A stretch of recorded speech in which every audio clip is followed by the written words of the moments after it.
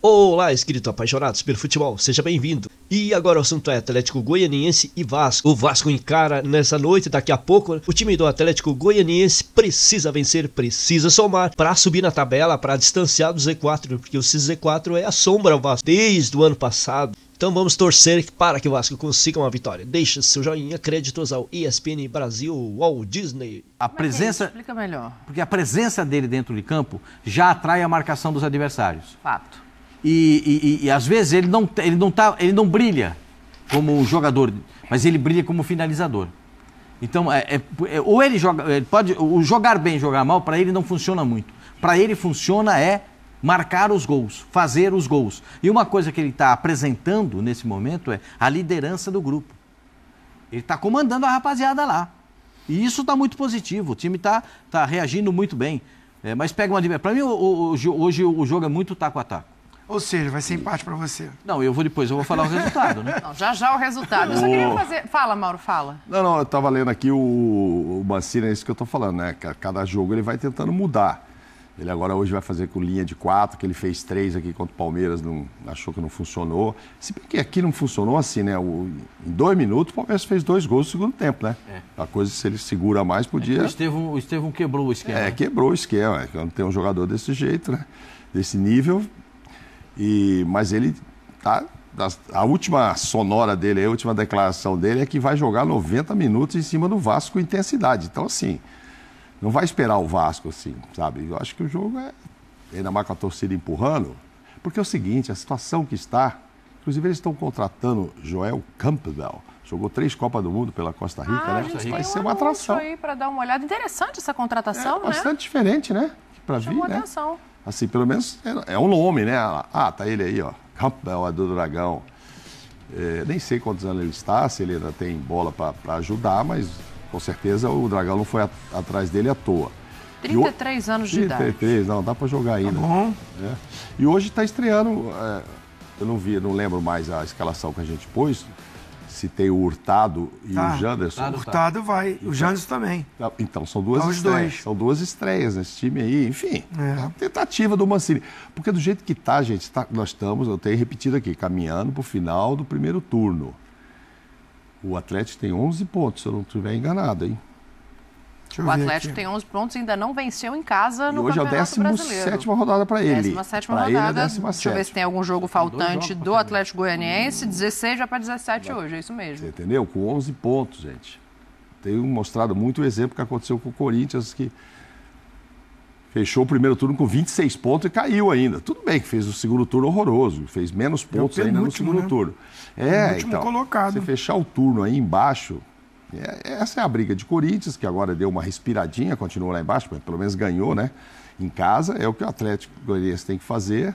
Porque não tem milagre, gente. É pontos. O Grêmio e o Fluminense. Esses quatro aí. Essa frase é ótima. Tem. Não tem milagres, são tem. pontos. É pontos. É, inclusive hoje é um jogo de seis pontos, né? Não tem. É, seis pontos. Essa é uma O que coisa não vai que no um, futebol pro não outro. existe.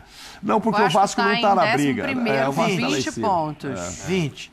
O 20 Atlético tem contra 11. 11, são 9 pontos de Aí, diferença. É, gente. 14. Se o Atlético ganha, soma 3 e o Vasco não soma 3.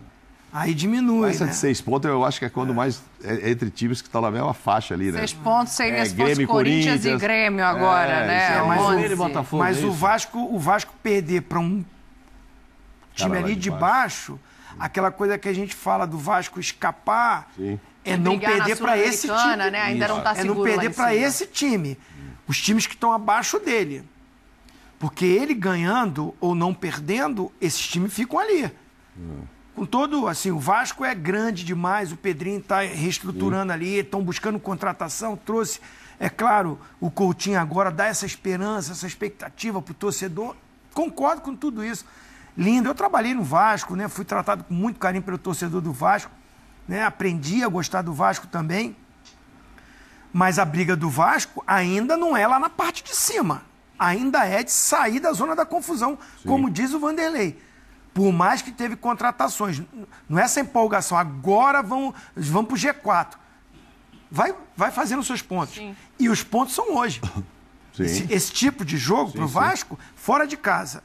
Não vai estrear no Fluminense. Fluminense é o último colocado. Nossa, a cara dele assistindo os jogos no Maracanã. É, não, é Se preocupante, né? cabeça, é, enfim. Não, lógico, o cara chega com o nome que ele tem, com a história que ele fez no mundo todo e cons- construída também no Fluminense.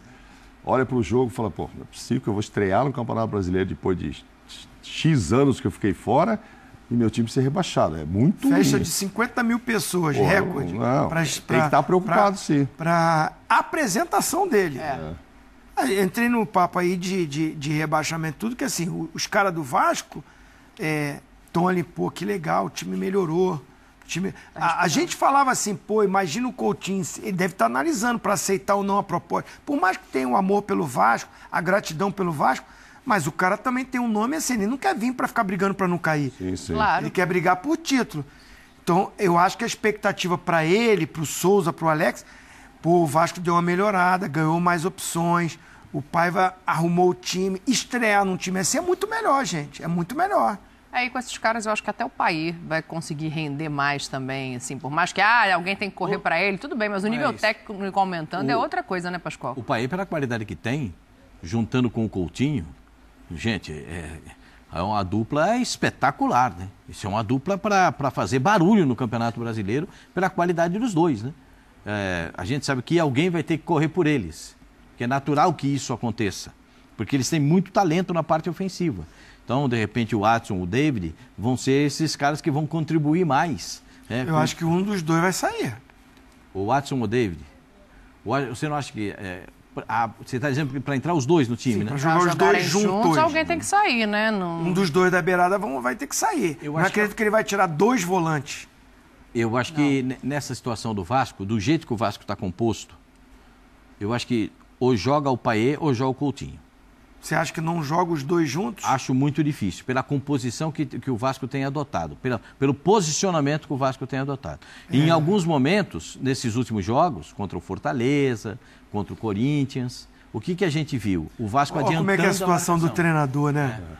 O cara Tem tá iniciando a carreira dele, tava numa dificuldade, pô, olhar assim. E aí no hum, Paê machucou. Nada. O Paê, aí eu arrumo um jeitinho. Agora ele ganha jogadores com muita qualidade. E agora? Como é que eu vou fazer pra jogar todo mundo junto? Como é que eu vou arrumar de botar esse cara pra jogar e o time não ficar exposto, não ficar vulnerável?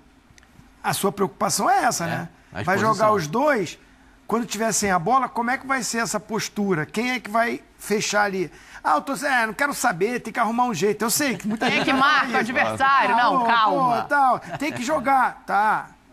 Daqui também eu falo, eu também. Claro. Eu que vou assistir um jogo do Vasco, pô, tomara que jogue o Paê e o Coutinho junto, hein? É lógico. Que qualidade, que bonito. É, mas os caras sabem que quando perder a bola, vai ter que ter Eu o... vou te falar, e eu acho que vai sobrar pro David ainda, porque o Piton passa mais do lado esquerdo do que o lateral direito do Vasco. Então tá é, do que o Paulo Henrique. Tá arriscado sobrar pro David ainda. Vamos ver. Hoje não tem nem Paier, nem Coutinho e o Vasco joga fora de casa. Dito isso, presidente. Dito isso, primeiro eu queria dar boa noite a todos vocês, que a gente Ué. começou o programa hoje, ninguém deu boa noite pra ninguém, Jura? tá? A gente É. ficou É emocionado e foi no falando do Tetra, Tetra, isso. tal, né? Pois é. emocionou, As tá pessoas querem o nosso boa noite, tá? Então, boa noite, Dani, sim, Pascoal, boa noite. É o homem um do abraço tempo, né? Pô, não É o senhor do tempo. Não dê boa noite hoje, pô. Como é que é isso? né? E parabéns pelo Tetra, viu, Tetra? Obrigado, É o parceiro. seguinte, é... jogo lá, É. 2x1 pro Atlético Goianiense. Zinho. Boa noite, fã de esporte. Estou emocionado. Hoje é o dia do Tetra, 17 de julho. Um beijo, um beijo pra vocês também. Vocês também são Tetra. 2x1 pro Vasco. Pascoal. 1x0 o Atlético Goianiense. 1x0 Vasco. Então, pra gente Dois tudo pra lá e dois pra cá. empatar. É, eu já vou Agora falar. gostei, hein? ninguém em cima do muro aqui. Não deu muro, né? teve não teve de um um. empate, Esse é um não. jogo que Esse não é um vai jogo ter, que é ruim pra pra não todo tem mundo empate. empatar. Ninguém Alguém vai tem que topar empate. vitória. É, alguém vai sair, gente. Olha a pontuação que eles estão.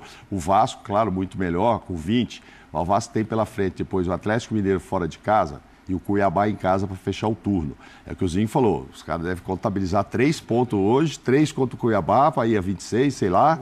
Porque aí fala assim, ó, o segundo turno, no mínimo, a gente repete essa pontuação, Saímos. saímos escapamos. fora. é, tem que É. repetir. Mas Enfim, vamos ver. Mas vamos ter empate hoje ainda. Eu já tô lendo ali São Onde é que Paulo. vai ser empate? Vai ser no Morumbi, vai ser no Newton Santos? Me dá a imagem dos Vai dois aí. ficar sem isso Mauro não, Naves Ela não ir vai ficar sem isso não, viu? Ela vai ter um empatezinho que eu vou largar. Então os comentaristas aí acham que o Vasco não vai conseguir a vitória diante do Atlético Goianiense, vai ser um jogo difícil. E é fora de casa ainda, e o Atlético Goianiense também precisa vencer para se distanciar do Z4. Vai ser um jogo difícil, deixe seu joinha, seu comentário, se inscreva e até o próximo vídeo.